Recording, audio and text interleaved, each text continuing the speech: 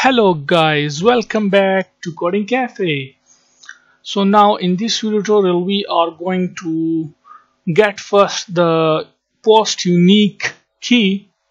That is let's say if I click on this post then I have to get the key of that post.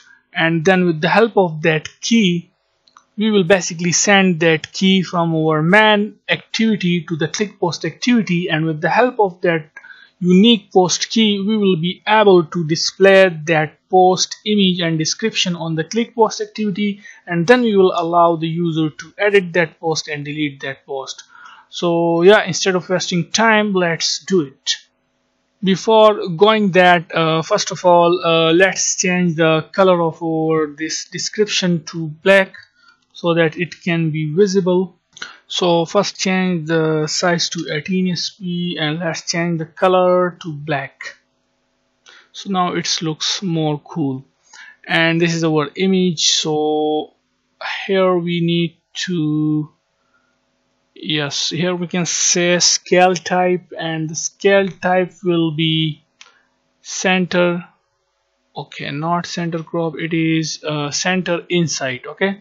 So this is our uh, scale type for the image. And then we have the post description. So all we need is to delete this I mean the layout margin from the top will be zero. Or you can say this null.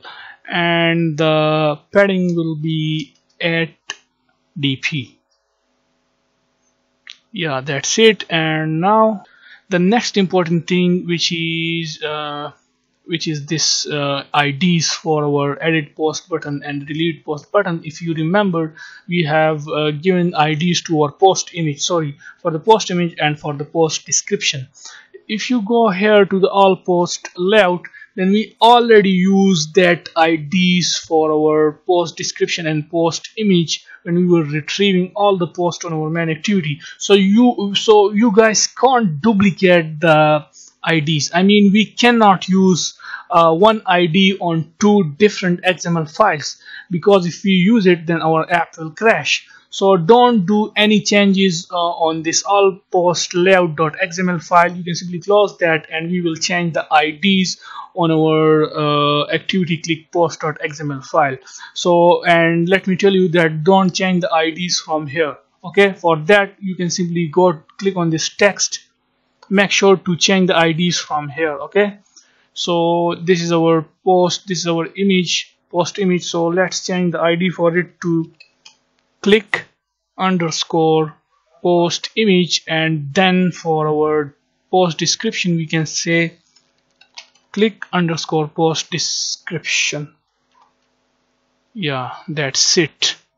So now we are ready. I mean our app will not crash now okay? Because we assign different ids to these fields and uh, this is our post description so let's move it here. And okay go to the text and here we have our post description. And you can see that it is yeah that is fine. And now from the top it should be 10 okay 0 dp 0 dp. And from the left it should be 5 dp. And from the right it should be 5 dp. So yeah everything is fine now. And now let's uh, work on the I mean getting the post unique key. So we will simply close that. Also close this login activity and go to the main activity. And here on our main activity you can see that we have our display all user posts method and here inside this we have our this uh, populate view holder method. So here we are going to create a string type variable and inside that variable we will just store the post key. So we can say post key equals to get ref position. So it will basically we have our this int data type position variable so by that variable I mean uh, that is when a user let's say click on this post then it will get the position of that post and then we have to get the key. And we in this way by using this line of code we are getting the key of that post and we are storing it inside the string type variable which is post key. And let's make it final. Oh sorry. Final. Final string and now uh, after here we can say viewholder dot mview dot set on click listener new on click listener. And inside this on click method we are going to send the user to the click post activity alongside with this post key. So we can say intent let's call it uh, click post intent equals to new intent and we are on the main activity. So we can say main activity dot this. And we want to send the user to the click post activity dot class. So we will start the activity for the click post intent and we need to uh, send the post key from our main activity to the click post activity. So then we will be able to retrieve the post image and post description on our uh, post activity. And once we retrieve that then we will allow the user to edit the post and to delete that post. So here we can say uh, click post intent dot put extra and uh, uh, first of all we have to uh, give it here. Here we need to uh, give it some key. So let's give it the same key which is post key. Then we you can simply put a comma and the key is stored inside this variable. So we'll pass that variable here.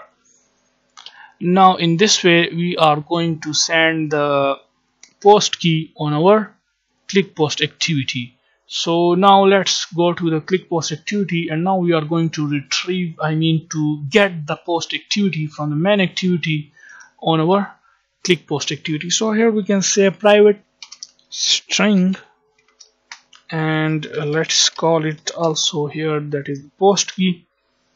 And then inside this on create method we can say post key equals to get intent dot get extras dot get and we need to pass the key which we use here and that is this one. So make sure to use the same name which is this one okay?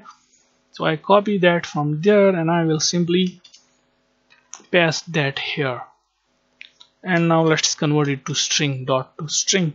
So in this way we receive the post key from our main activity and we store it inside this post key variable which we initialize above here. So now with the help of this post key first of all we will create a reference to our this node which is post.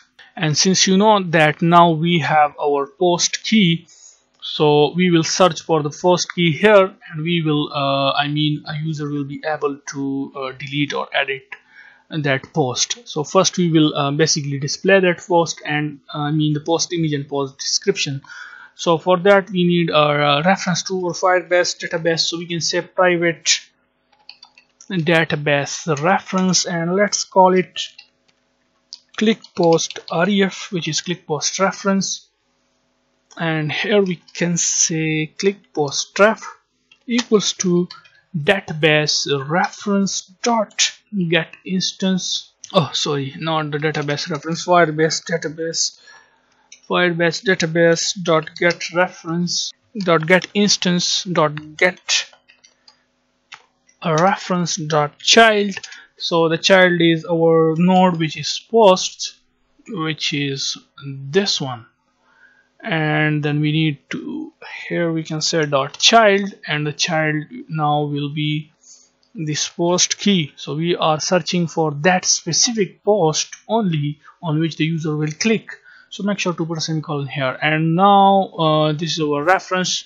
So here we can say click post ref dot add value event listener new value event listener and uh, make sure to put a semicolon here first. And inside this on data change now we are going to retrieve the post image and post description. So let's call it description equals to data snapshot dot get first we need to uh, point to the child that is which thing which we uh, we are going to retrieve. So make sure to use the same name which is here okay which is description. And let's write here description dot get value dot to string. And then we need to retrieve the image. So we will copy this and we will change it for the post image. So we can say image. And this one is our let me check with this one is our post image. So we can say post image. So now we can simply set the description on our uh, so we can which is our this one okay post description. So we can say post description dot set text and it is stored inside the description variable and then we can uh, set the image. We can uh, use the pic we, we have already uh, add the Picasso library inside our this social network app. So we can say Picasso dot with click post activity dot this dot load post image. So which is stored inside this variable. So copy that and paste that here. Dot into which is our this one.